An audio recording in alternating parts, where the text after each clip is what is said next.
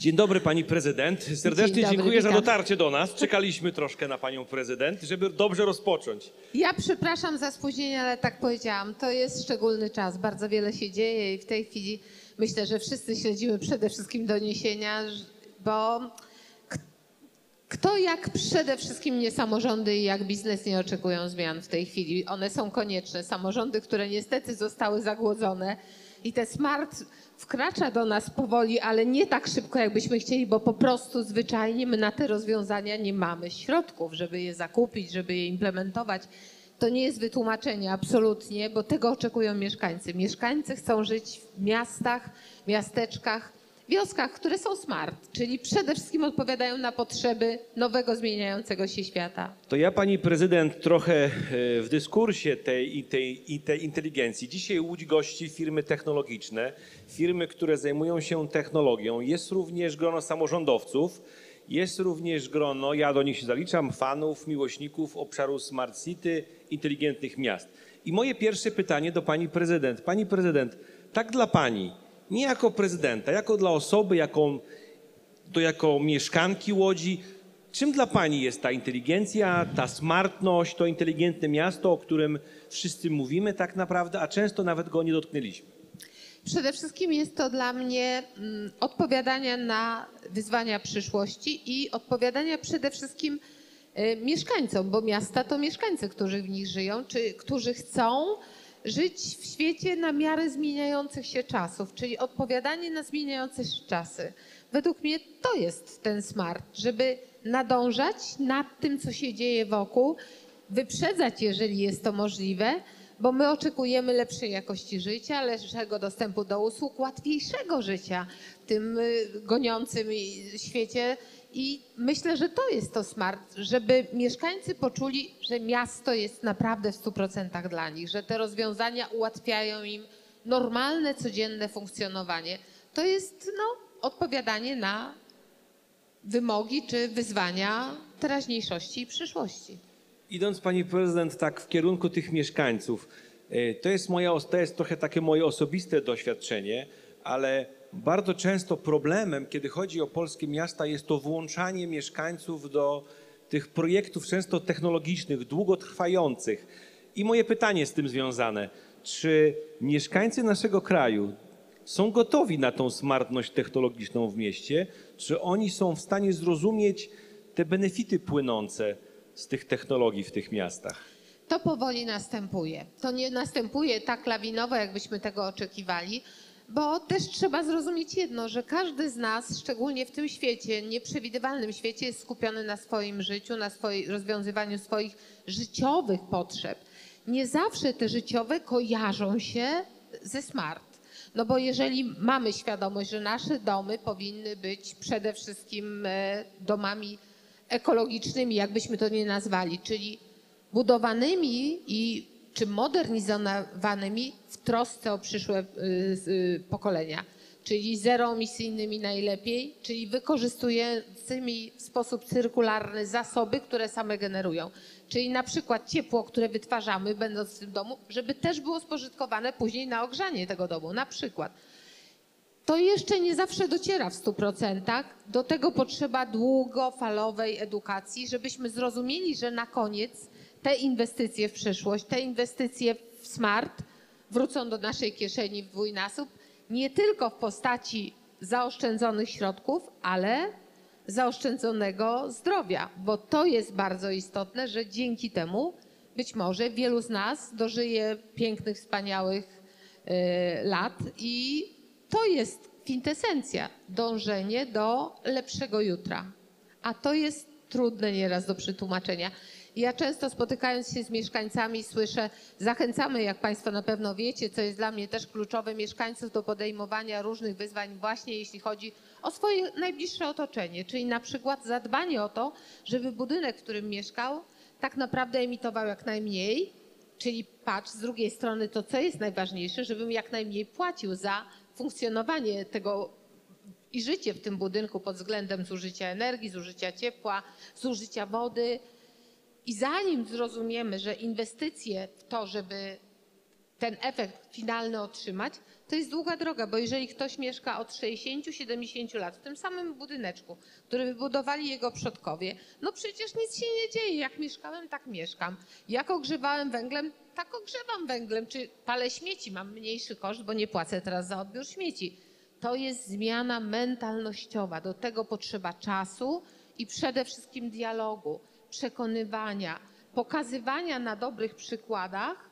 I takim przykładem na przykład jest miasto, które dbając o swoją infrastrukturę, wprowadzając nowe rozwiązania w swojej infrastrukturze, pokazuje, że na koniec to się bardzo opłaca.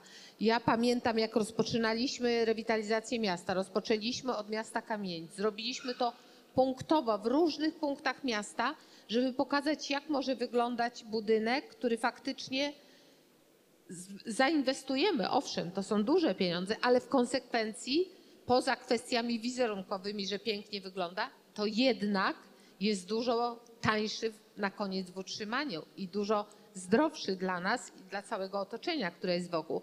I co się stało?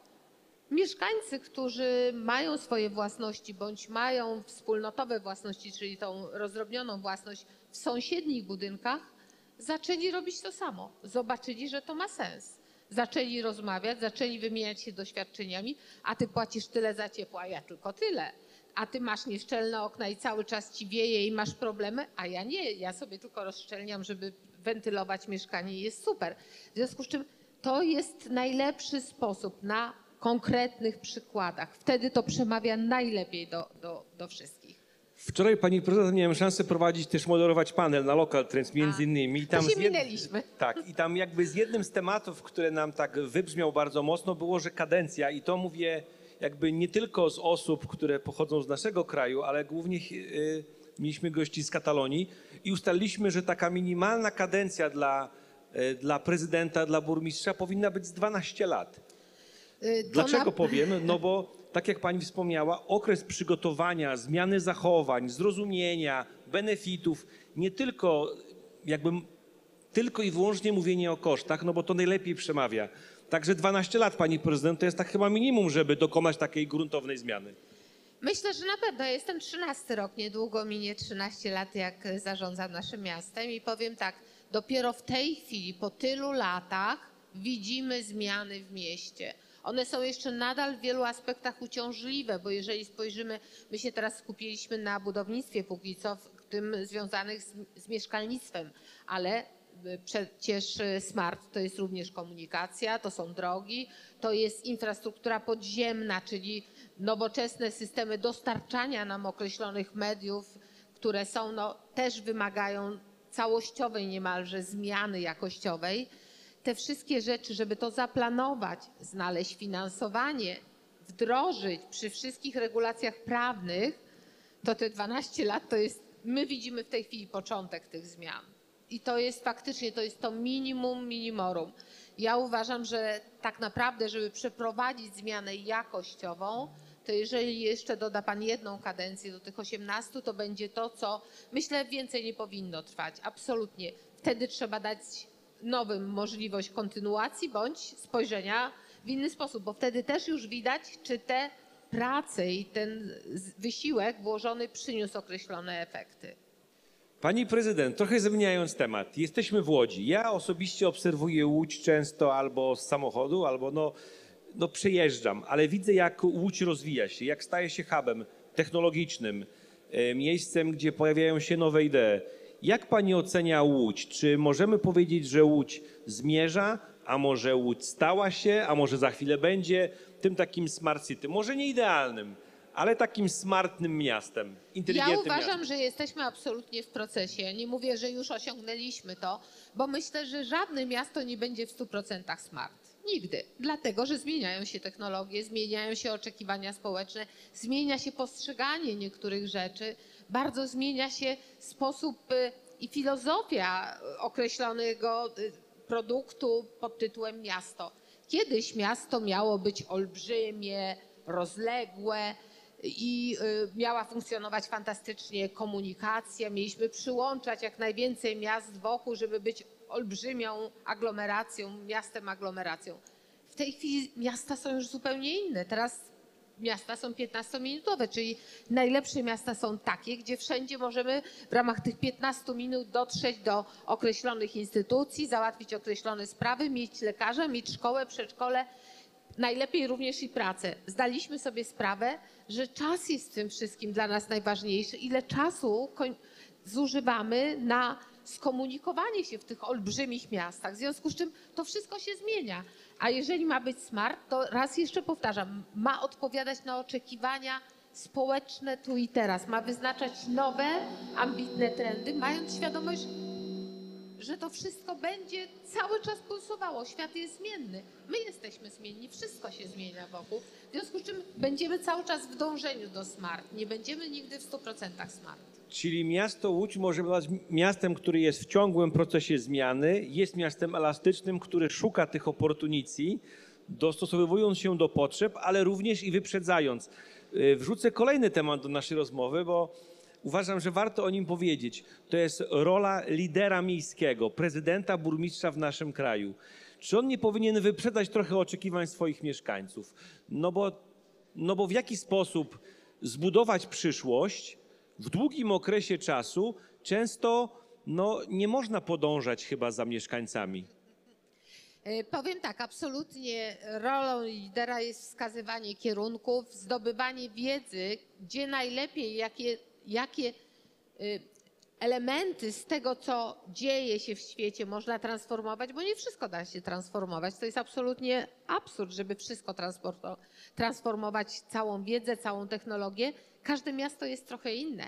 W związku z czym na pewno prezydent, burmistrz, wójt to jest lider, który powinien wyznaczać kierunki, ale przekonywać, nie narzucać, a przekonywać obywateli, że to jest właściwy kierunek. Pozyskiwać tą, tak jak my zdecydowaliśmy się w Łodzi wprowadzić strategię miasta współtworzonego, pozyskiwać naszych mieszkańców do tego, żeby wspólnie te zmiany wprowadzać. Nie można coś robić wbrew ludziom. Trzeba z ludźmi, ze naszymi mieszkańcami. To oni są właścicielem tego miasta. W związku z czym lider musi mieć wizję, ale musi umieć przekonać do tej wizji obywateli. Bez tego to jest praktycznie narzucanie siłą woli, która, jeżeli nie będzie tego wsparcia ze strony społeczeństwa, będzie tylko i wyłącznie, no nie chciałabym to nazwać tyranią, ale na pewno niewłaściwym kierunkiem działań. Pani prezydent, moje ostatnie pytanie a propos Łodzi. Jeden, dwa przykłady, które pani osobiście uważa jako takie dostosowane, elastyczne, inteligentne, z których łodzianie są zadowoleni i wiecie o tym, że oni są z tego bardzo zadowoleni. Myślę, że na pewno takim przykładem są biblioteki miejskie. Jesteśmy przykładem chyba w całej Polsce, jak można było zmienić obraz tych instytucji. One są smart. One odpowiadają absolutnie w 100% na wyzwania przysz- przyszłości. One je jak gdyby generują. One same zachęcają mieszkańców do zmian swoich przyzwyczajeń. W naszych bibliotekach praktycznie Nasze biblioteki stały się mikrocentrami kultury dla mieszkańców, mikrocentrami dyskusji, debaty. To jest na pewno fantastyczne rozwiązanie i to jest na pewno to, y, co, z czego powinniśmy absolutnie się cieszyć i co powinno być takim naszym znakiem rozpoznawczym wszędzie. I zachęcamy wszystkich do śledzenia, jak można zmienić stare, przepraszam, pachnące troszeczkę kurzem i stęchlizną miejsca w miejsca, które stały się żywym organizmem, przyciągającym, integrującym i przede wszystkim ślad za tym z olbrzymim wzrostem czytelnictwa, które za sobą pociągnęły. To myślę, że to jest właśnie ten kierunek, który wizjoner daje. W tym wypadku był to fantastyczny dyrektor bibliotek, którego pozyskaliśmy, który tą nową ideę pchnął i faktycznie to się dzieje, to trwa.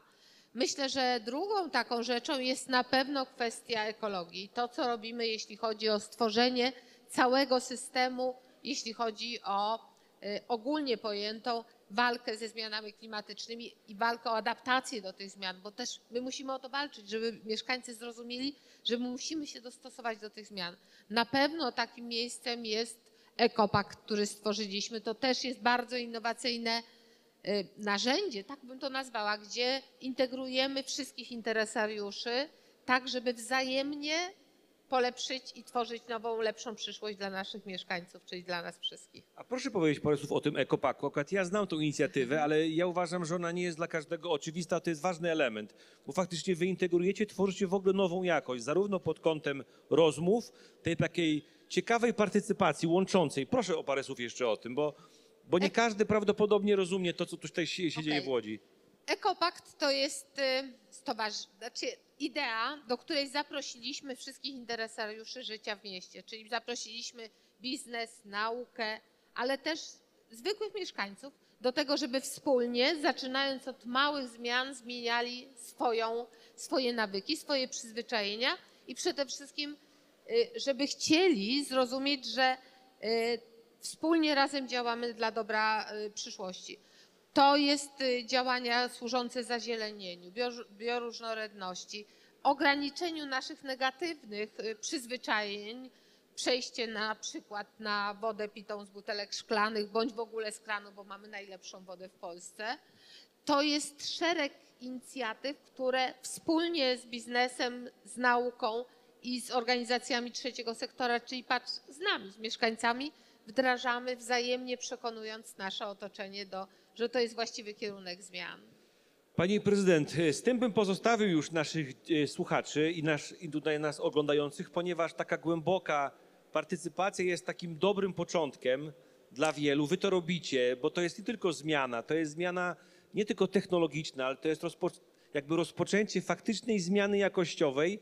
No i na końcu ta technologia, która może te, te miasta Wspomóc, wspierać, wspomóc, dokładnie. bo ona jednak wspiera, ona nie ma być tym elementem wiodącym. Pani prezydent, bardzo pani dziękuję. To ja bardzo dziękuję wszystkim tym Państwa, którzy wysłuchali, byli tu z nami, a ja życzę Państwu otwartych umysłów, otwartych oczu i pięknych serc, żeby te wszystkie zmiany i te wszystkie nowinki, które tutaj na pewno się pojawią, jeszcze nie jedna, żeby faktycznie wdrażać i raz jeszcze zapraszam wszystkich tych, którzy nas oglądają, słuchają bądź będą słuchali, że to jest fajne miejsce, żeby wymieniać się doświadczeniami, żeby faktycznie to, je, to, są, to jest spotkanie branży, która powoli, powoli wkracza w życie, ale my musimy przyspieszyć ten proces. Także kolegów, samorządowców serdecznie zapraszam, zapraszam firmy technologiczne.